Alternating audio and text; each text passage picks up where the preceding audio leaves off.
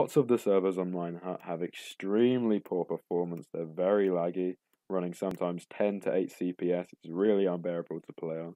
And there's one simple trick I'm going to talk about today that takes maybe 5 to 10 minutes and can dramatically increase how well your server's running.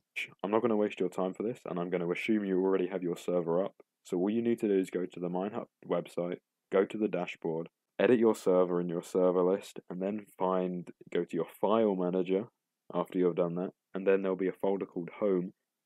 And inside that folder, there's going to be these config files, and these are the settings you're going to want to change. There's three files, as I said, and there's many, many settings, and most of them, they're probably not going to affect performance that much. Most, for example, door breaking difficulty zombie. You changing this isn't going to affect your server at all, more or less. However, some things, let's just search chunk tasks per tick the server can do.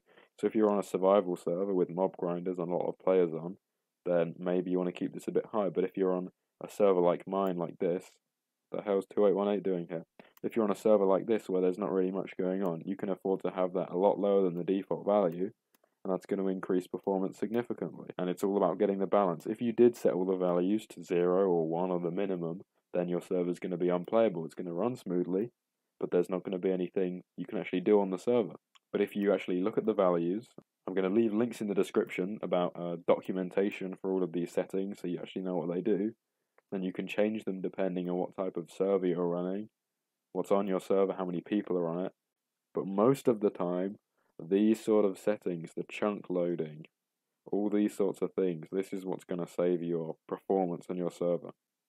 And as I said, so just a quick demo of where these are. I'm on my MineHut panel right now, editing my server. Just head over to File Manager.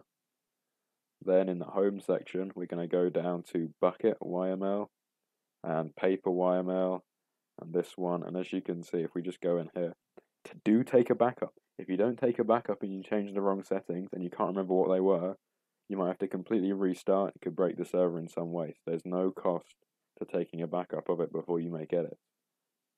But then you have, in this one I think it's the longest, about 300 lines or more. Yeah, 319 lines of settings that you can customize. To do, have a look through these. It could take, as I said, 5 to 10 minutes, but it will increase the performance of your server. These sorts of things. Very easy to do, okay?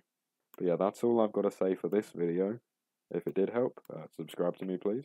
Leave a like maybe. Uh, and goodbye.